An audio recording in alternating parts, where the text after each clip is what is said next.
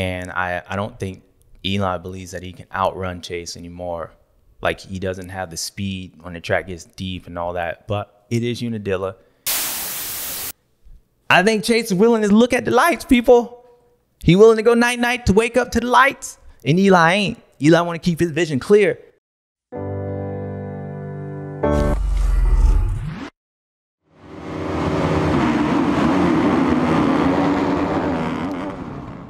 Hey guys, what's up? You know who it is, your boy James Stewart. And you know where we at, baby? We at to rewind. Should I say that again? We at to rewind because we've been off for a couple weeks, been at Loretta's, taking a little vacation time, but we back at round nine up at Unadilla, where again, just like it was a few weeks ago, we have somebody getting a neck burn and then maybe another far East Coast neck burn. We're gonna have to see if Siri can, you know, figure that let that language out.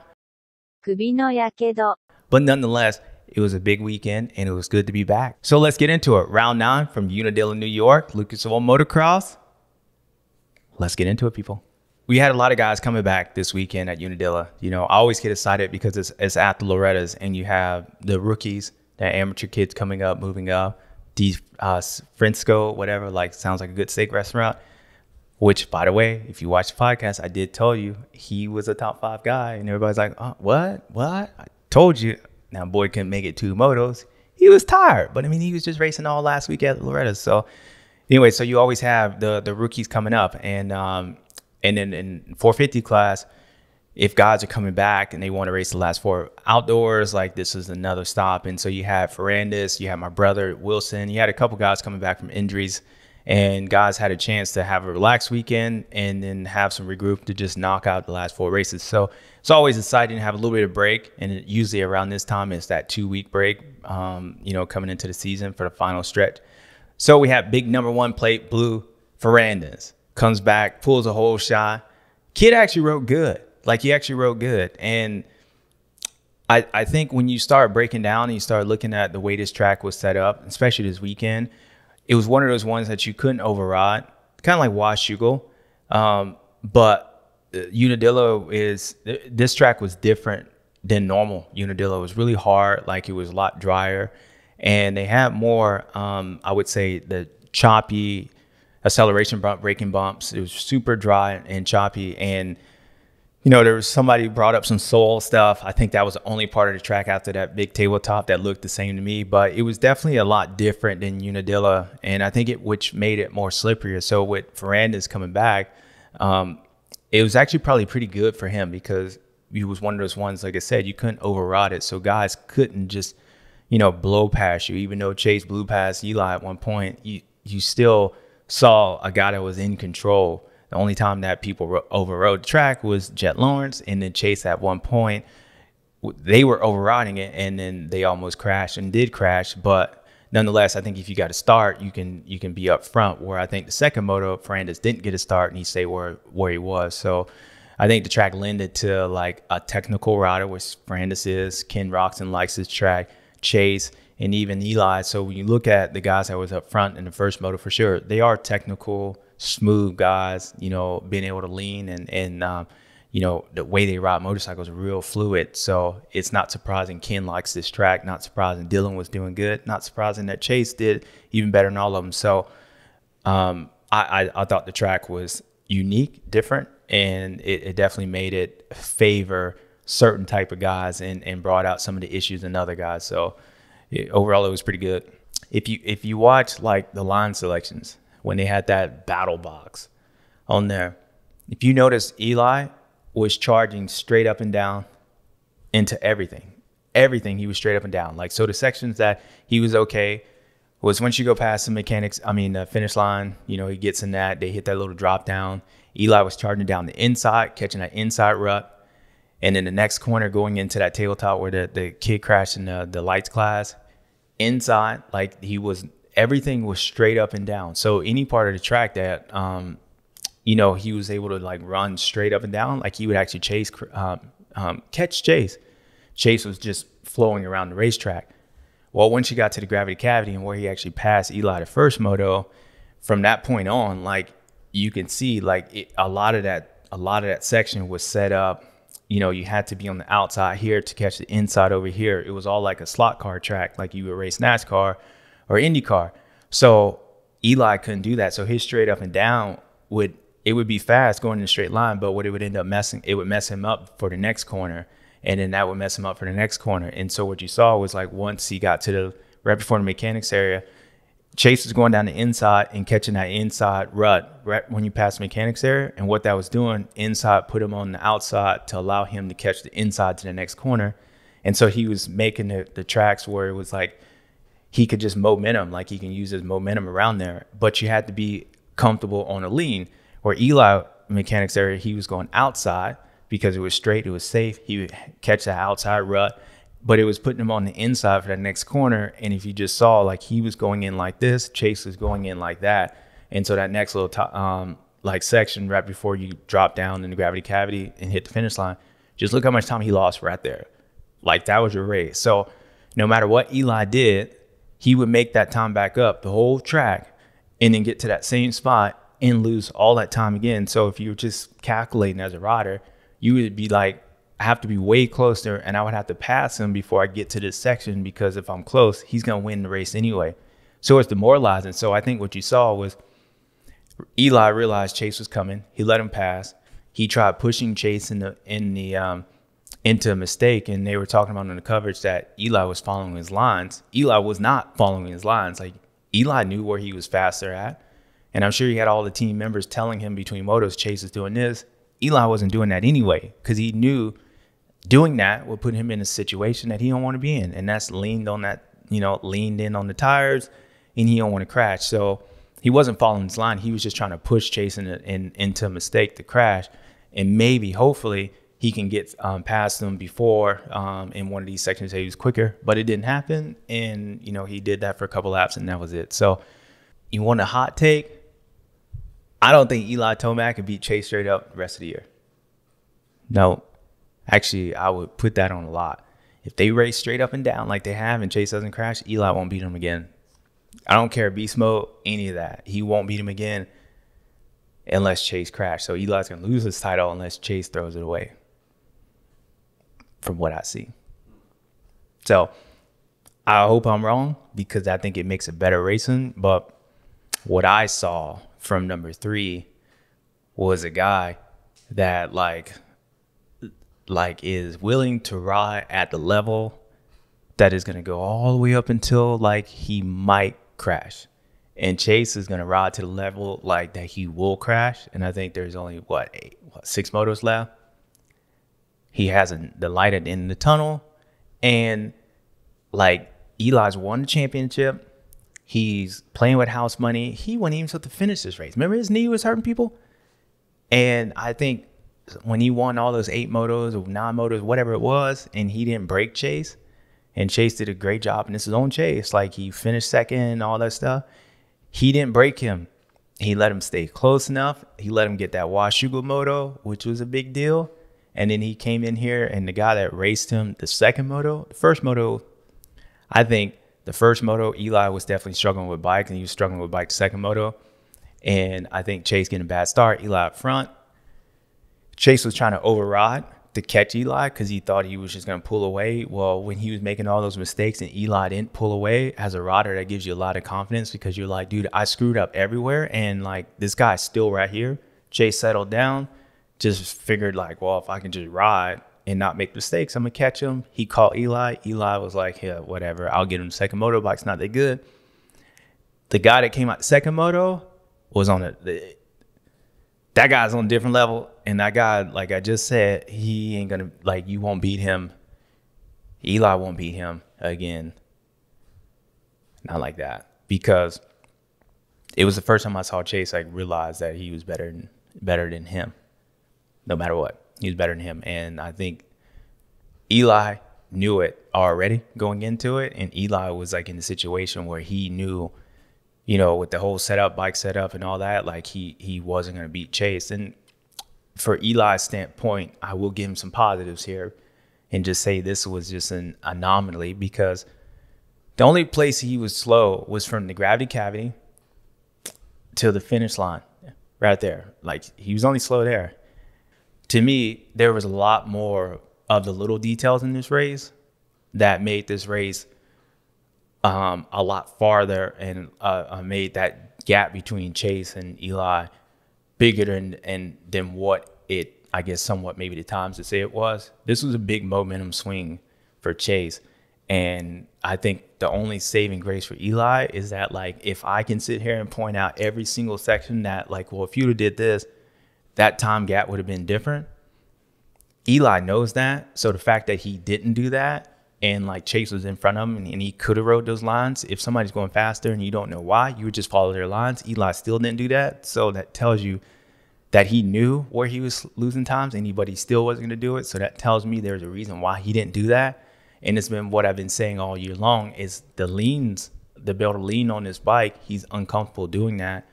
And I think Chase is to the point where, you know, like I said, he didn't break him um, when he won all those motos.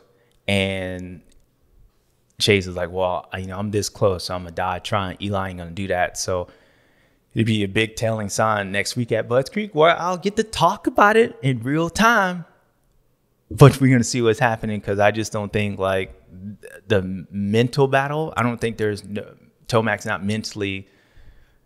He doesn't have that mental edge over Chase. I think he believes Chase is um, he's strong, he's fast, and I I don't think Eli believes that he can outrun Chase anymore.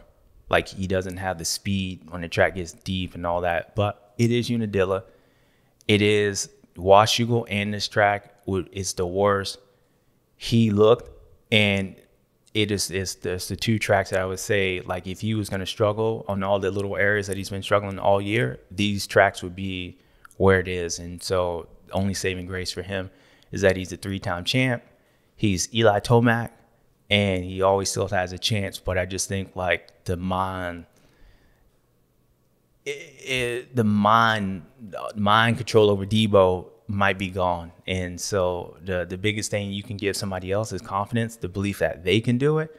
And that's a problem because you can believe all day long, but if they believe they can do something and a guy that has more talent and is willing to die for it, that's your problem. So I always used to say perception perception. Well, this dude, in his perception, he thinks he's better. And if he thinks he's better, you got to go out and stop that. Well, I believe the only way you can stop that if a guy's willing to die trying, then what you think you got to do. So we'll see. There's there's two guys that right like we were talking about two guys because those two guys that's fighting for the championship. Um, ironically, those two fastest guys in here. I mean, I think with Ferrandis coming back, it was nice to see, but I don't think he's going to get in their way and it was, it was, he let Eli by. He also let Chase by too when they got close to him. So I think if they're battling and Ferrandis is up front and he's not faster than those guys, I don't think anyone's going to battle him because they're that close. So I think we should just stick on the, the two guys right now with Eli and, and, and Chase. And, and from what I saw, and I, there was one point in in the first moto, I think it was yeah, first moto. Chase passed Eli after that sky shot jump, and right before you go down to that not gravity cavity, but that little they used to call it screw you. I don't know what it is now. And Chase went around Eli on the outside. To me, that told me like enough. Like I could have cut TV off right there. I could have cut TV off because remember we were talking about Roczen um, at it was at Hangtown when he let Chase go around him on the outside. The fact is, Eli let Chase go around the outside. Now I know they almost cross jump and maybe he was scared and he needed to change diapers. But when you when you're in this situation, I was like, you know, I knocked down my mama, grandma, whoever it is. The fact that Eli didn't run it in on Chase sent two messages. That one, like he's uncomfortable, and I think that I would say die trying or whatnots, live for next week is his his attitude, which is completely fine because at the end of the day, like you got to be survival of the fittest. And so if maybe if you in it to win it, that's to be the way it is. But to me, what it said when I even reiterate on what happened with Roczen is that it wasn't what he did, is what it said to others how he is. And to me, when I watched Chase, after that point, he was he wasn't worried about Eli. And I think Eli has always had that fear of like, hey, if he goes in beast mode, or like, man, like I like I don't want him in that zone. like I don't think anybody's ever been afraid of Eli like a Barcia like type. So I don't think Chase always thought like he would take him out or anybody. And they know Eli's not dirty rider because he's he's not, and that's that's a good thing. Whatever. I always said that Chase, there was only one person he kind of feared was Anderson because the way Anderson rides. Well, I think if you're getting down to this situation, then you have to start sparking some kind of fear because the guy is clearly at this track, he's riding better than you. And I, I keep reiterating like the last race, you don't want to go in where you're six points up and you got to beat the guy or five points and you got to try to beat the guy one of his favorite tracks at Paulus. So to me, Chase likes his track, Eli struggles. So I thought it would have been a big message for Eli at least to run it in on him, like running in and the fact that he didn't do that just told me that he's in that. I'll I will save it for next weekend again, which is fine. But it sent a message to Chase that like Chase doesn't he's not afraid of him anymore. Like he's not.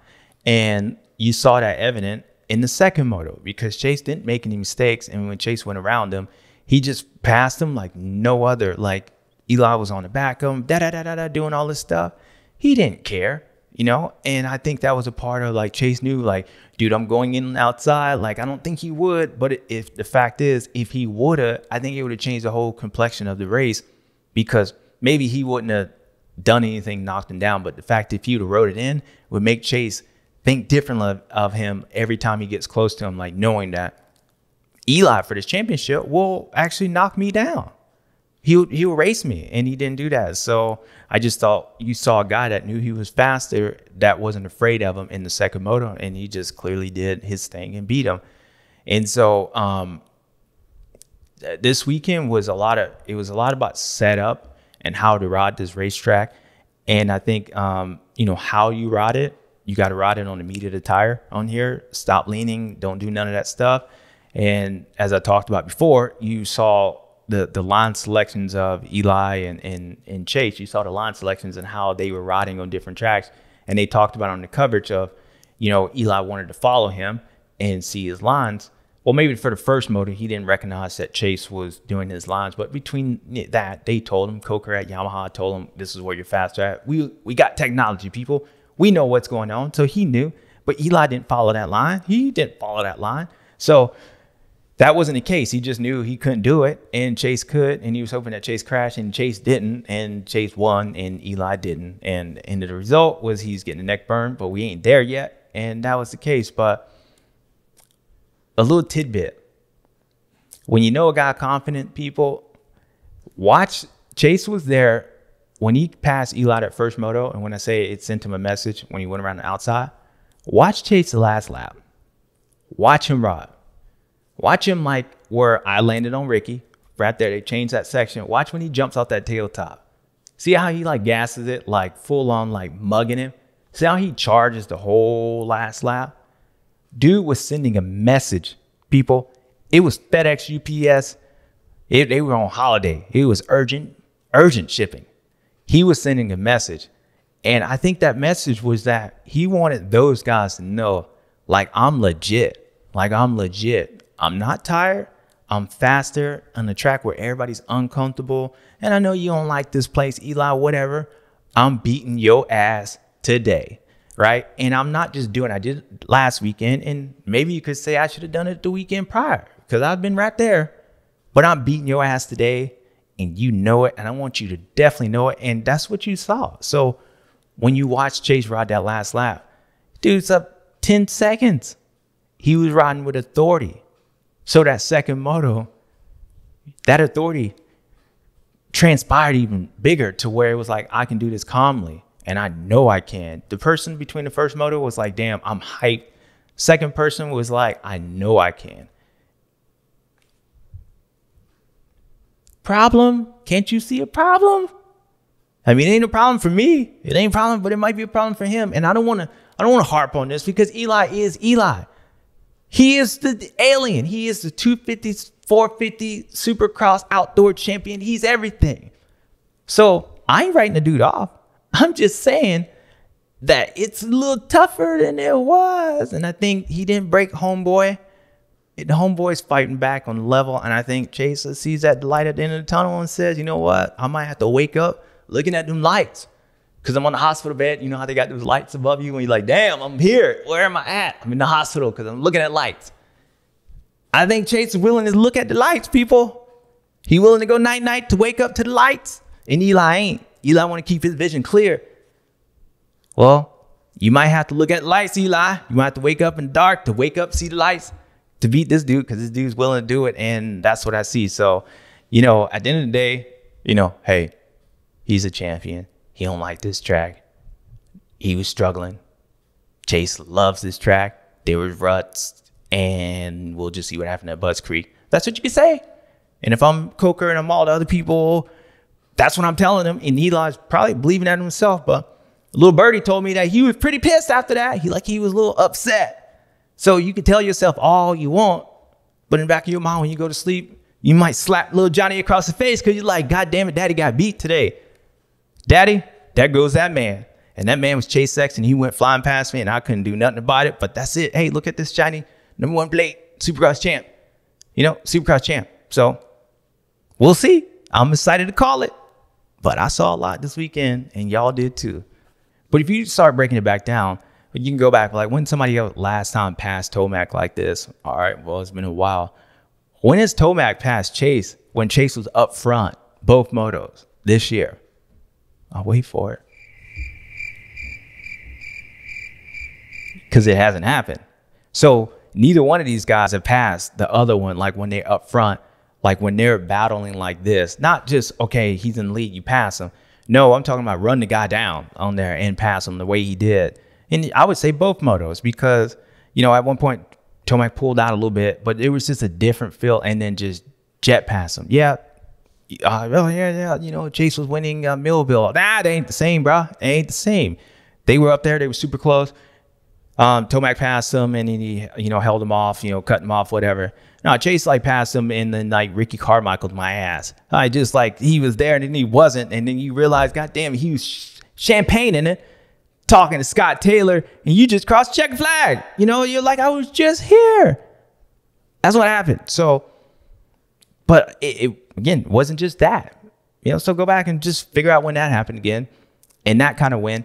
But just figure out also, like I said, watch when Chase rods. Like, watch what he's doing, how he's riding on there at the end of the race. He already had this race won. And you would say, a guy that's thrown away more races than, you know, um, you know, a VHS tech tape, you know, you would think that he would just calm down, just finish this thing out because he clearly knew Eli was giving up, like not giving up, but he already had him covered. Nah, dude was riding with authority. He was trying to put his stamp on that thing. So the way he was riding with anger people, he had animosity and it shows. So that to me is a belief that like he ain't worried and he's trying to send a message and the message was sent. So we'll see if he answers it and sends that back because you're to have to at Budds Creek because otherwise it's over. Tomac's going to start racing behind him, even when he's up front, like he did the first moto and second moto. It doesn't work that way, people. These motors are way too long, and somebody's way fast enough. So that's what I saw. So I don't know where all that went, but it went somewhere. And you know where we have to go because it's it's. I almost feel like this one was a special one, but it's not special because it just happened two weeks ago, and I just think like at the end of the day, sometimes when you win, you win. And sometimes when you win, you won. Like sometimes you won. I, what does that mean? I don't know.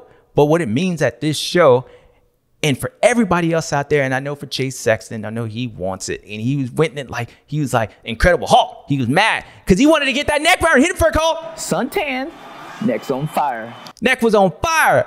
Neck was on fire. You know when a guy's feeling it too when he comes on the podium, he's like, oh, yeah, yeah. And I said it a few weeks ago. I was like, look at everybody else's face on the Yamaha crew. Like they were like, oh, we know what's up. We know what's up. They were calm. They were calm after this race, but dude pulled off his hat, had them blonde hair, even blonder than what it was. I didn't know what it was. I was like, damn, is it is it like a old western movie that the field has, has no water for a while and that thing just it's light of fire just blows up? Nah, it was just blonde hair. Dude was like thugging, thugging, Django style right there. Congratulations, Chase Sexton.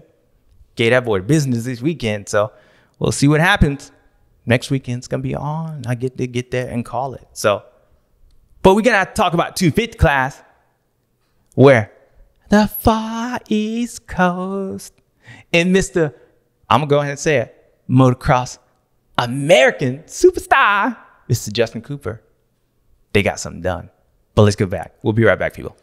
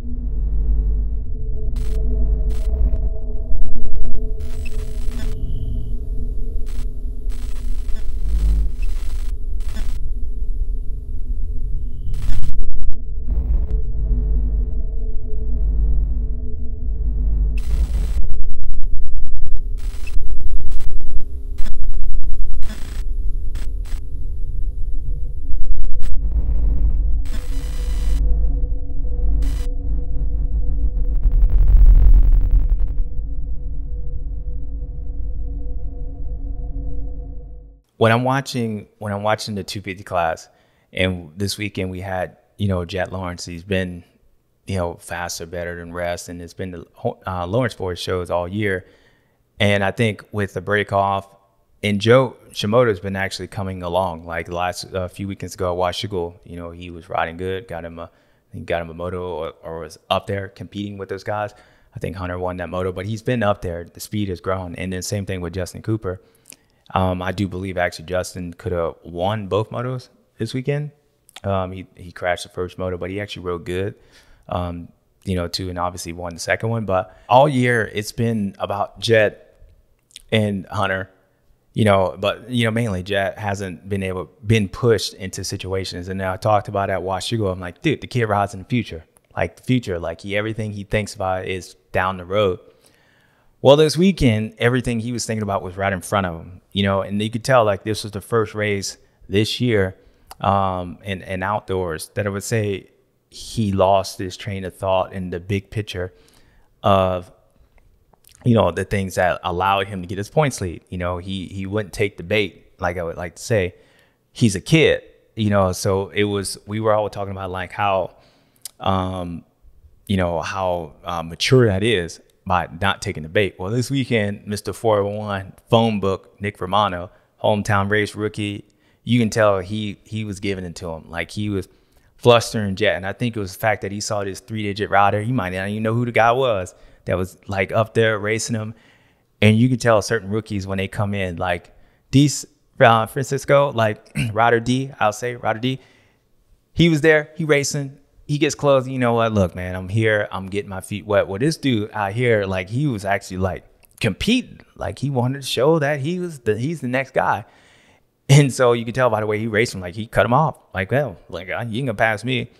And I think that the fact that um, Shimoda was up front, and um, the fact is that Jett Lawrence saw and he knew how difficult this track was to like make up that much time and to ride it. He was trying to get around Nick and he was getting flustered. And you could tell when he he did it, like he started making mistakes over riding it and then he hit the ground. It's the first uh, first time this year he's done that. And it was I would say it's the first time he didn't look past and just kind of like picked his way and and tried to make the pass. Well, he got lucky because he almost looked at lights too. He almost looked at the lights, and I ain't talking about the credits for the race. I'm talking about the doctor lights. You know, he was getting there, and you could just tell like that was that that kid. You know, like cool, throwing donuts, like whatever, slapping his brother on high five, like, hey, how cool was that? When brother was about to beat his ass because he was so mad. That was that. I mean, it wasn't like it was with Hunter a few weeks ago when he was trying to kill old homeboy when he was like that, like that kind of crazy. But it was just a different. He just lost train of thought. Anyway, he hit the ground multiple times this weekend. And usually when you got a guy that's leading the points, they usually don't make um, you know, they might throw away one moto, like he did the first moto. The fact that he came back and did it again was like, you know, he was just having an off day. You know, he he threw out the hand guards twice, same one. It was all messed up, and so it was a tough day for him. I don't, did he even make the podium? Yeah, the first time off the podium, but it's it's expected. He's a rookie and I'm not a rookie. He's, he's young, and we all got to have those races. Even that year, I won 23 out of 24 motos. Well, the one I didn't win, it was a bad one. So, as I talked about before, the bike leaning over and the traction. You know, you want to be lean, kind of have traction, or straight up and down so you can, you know, trust the front end. Well, Jett's coming in here and it looks like you would say he just starts watching the front end, which he does. But what you see when you start slowing it down, he's starting to hit and his front wheel actually starts coming off like he's like he hit braking bumps on there. He's leaned over, his front wheel's starting to pop up over there, and he actually catches the side of a rut on there and he starts sliding. The front end starts sliding, it starts pushing, pushing like a shopping cart you're trying to turn on little front front end. Like it's it's doing this number and it starts pushing like you're trying to turn on ice in a car. And then finally it, it's pushing, pushing, it hooks up. And boy, that moment right there, like probably saved his championship because what he does is when it hooks, normally what happens, your hand blows off. And so all of a sudden you get all that G force. And when that bike's, that front end's pushed down and it's un- unloading, you're laying on the handlebars because you're about to flip over. Your hands are off, hits you in the chest, and it pushes you and it knocks you forward. What Jett does, and I don't know if it's on purpose or whatnot, it's probably happening too fast but he holds on long. Like he he holds on. So when that bike kicks him up, you know, he's actually still holding the handlebars, which saves him from getting flung off. And you can see him, he's over the handlebars, he's holding on. And that's what allows him to ride and kind of slide out on the front end and down.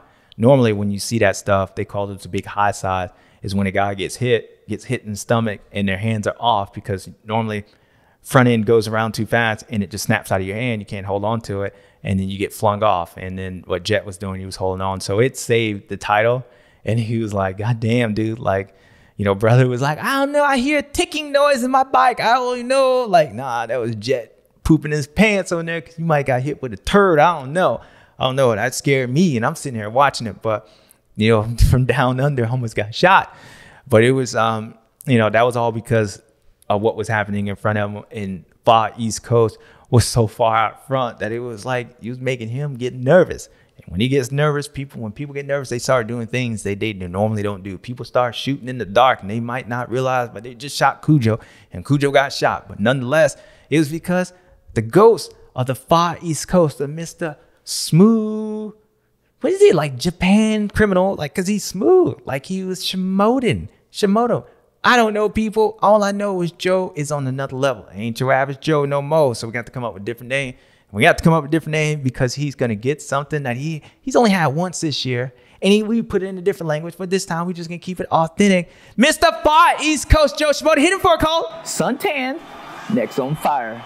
Neck was on fire. And the way he did it, he he knew this time where he was. He actually was like, ah, I'm adding up. It was looking suspect. It was looking suspect, but the, for down unders, yeah, one guy ticking, one guy flying, the other guy just cooping off, like hanging with Mr. Cooper. Nobody was doing that. And he was just doing his thing, just smooth, smooth, smooth all the way up to the overall. So Joe, second one, the only one. Them far East Coast and them from down unders been winning everything in that class. And he did it again. So congratulations, Mr. Not Your Average Joe, again. All right, people, that was it. You know what time it is my favorite time, your favorite time, hell, all of his favorite time. But first, commercial break. We'll be right back with Stews and Stews.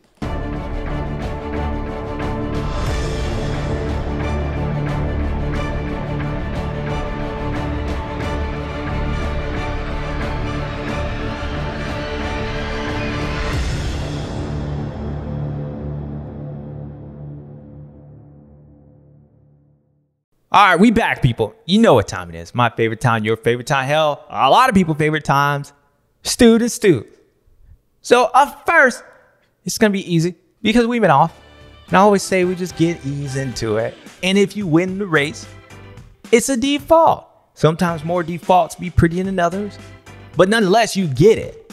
And then so I'm gonna have to give it to this guy, even though I don't think it was a default. I think it was deserved this weekend.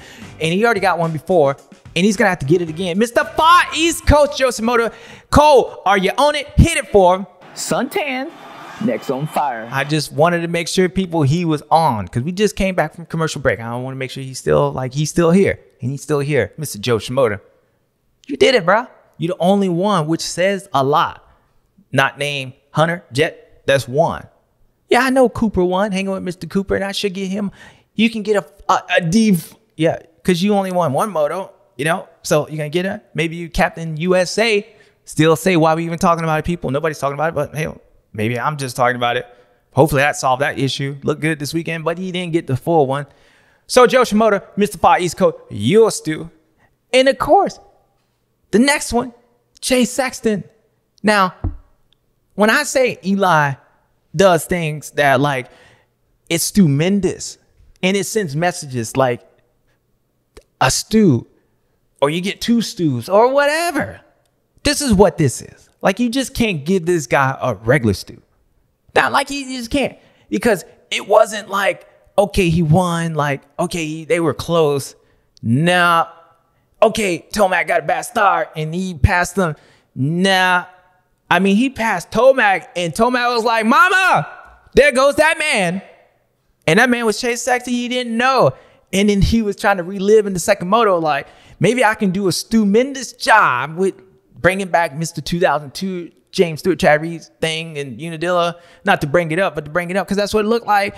And it was like, no, Chase is like, uh, you let me go past you, just whatever, just rode around the outside. You should have took my ass out, but you didn't. So that's a wrap for you.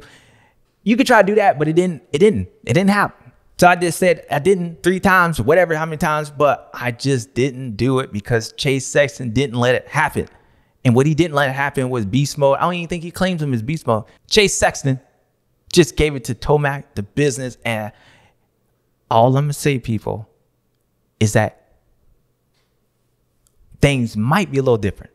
Things just might be different. You can figure out what the hell that means. I don't even know what that means. We'll figure it out next week when we show this show. But I just think there was a message sent, and the message sent was Chase Sexton giving Tomac the business. And when he did it, he was angry. I'm gonna have to put this boy on stewed list because the way he was riding, he was angry. Not like a Ken Roczen angry that he's mad because the dirt's there.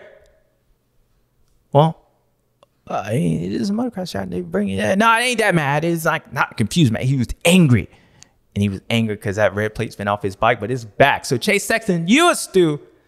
And then I don't, I don't know, Cole. You said Mr. Four One One Ramona, like you know giving Jett the crash. I do say he was the reason why Jett didn't finish the way he finished this weekend. I would say that he opened up the phone book, realized there were a lot of numbers in this. The four one one or four one one didn't give him his number, whatever it was, going to charge him all that money. Just make a phone call, whatever it was. He was on the ground. So I could say, yeah, you are a stew, but we don't like to give people stews for causing other people problems. But good job. Like, hey, you at hometown, you back. You've been fast since the first race, but I haven't seen you since the first race. So maybe you were out throwing out phone books, whatever it was, but you were back. So good to see that. And then um, let's give uh, Ferrandis and let's give Malcolm. They were back. Some people were backer than others, and some people were back to the blackness. They were back. It was good to see him back. Some people were like, damn, I'm here, but I ain't here. And then, but you on this list. So we'll give all y'all stew. Anybody that finished the list, y'all stew. So that was that list. Chase Sexton, Far East Coast. And that boy was mad. So Stu, pissed off pissed off because Chase rode around you on the outside again, pissed off because you couldn't do nothing about it, pissed off because you're like, damn, I'm gonna wait for tomorrow. My bike was not messed up, but in the back of your man head, you know you are pissed off. Dude! So, Tomac. Now I know, I know. He was cool, calm, collected. And like maybe I'm not even saying he's stupid. And originally when I thought about this list was like two seconds ago, I wasn't gonna put him on this list. And maybe he shouldn't be on this list. But I think he's going to realize maybe not this weekend, maybe not next weekend, maybe never, maybe never for his hopes, all of us, maybe never. That this weekend was a big turning point and he's to be pissed if he realizes that because he can realize like, damn, like that second motor was bigger than I thought. That Washougal second motor with Chase Sexton getting that overall and writing on that number one plate and then going in Unadilla after his two weeks off and him passing me both motos like that was a big deal. Even though I was like, I'll wait for the second moto and the second moto happened and the same thing happened like the first moto. That was a big deal. So maybe you're gonna be Stu in the future. So we'll just put that on the future Stu for Eli Tomac. So I don't know how we can do that, Cole. You can figure that part out. Future Stu, Eli, possibly. Question mark. There it is. Next would be Jett Lawrence. Now, the kids, like, is he stewed that he crashed? Ah, I don't know. I don't think so. Like, his brother was stewed. He's still mad at homeboy for pulling them tear offs and not having the tear offs and cutting them off. He's still mad at that. So I don't think he's stewed like that. I think he's just frustrated that, you know, he couldn't win again. And not only he didn't win, you didn't get on the podium. So that sucks.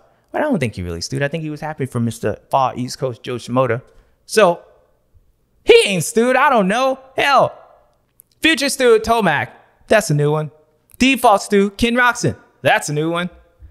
Cause that's about all that. Cause you know I'm, I'm. Should I say I'm stewed for not being on Get List? No, not really. Because you know I I keep it real, people. And maybe the show needs to stop and not go anymore because I'm going in a different direction. But just to close it up.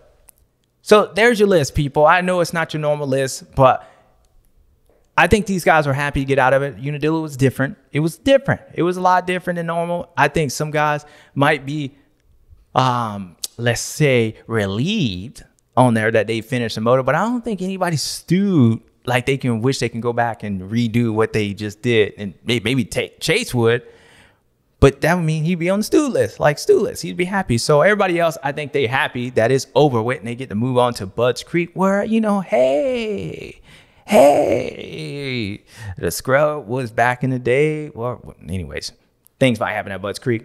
Nonetheless, if this happens again, like this weekend, then yes, the future stew will be coming to reality and the present stew. But until then, just like everybody else, we'll have to wait to see.